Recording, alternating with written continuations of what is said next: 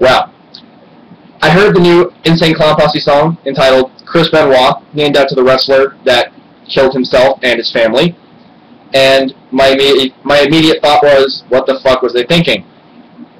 Um, to be quite honest, I'd rather get stabbed in the head by Varg Vikernes than to listen to this song ever again. If I were to give this a score, I'd give this 10 dead juggalos out of 10, meaning that's really bad. Um, don't ever listen to this band, don't ever listen to this song. I hope you guys enjoyed this. I'm mainly doing this to piss off the juggalos to see what they got coming at me. So, I know you guys will have a good laugh at this, so, yeah.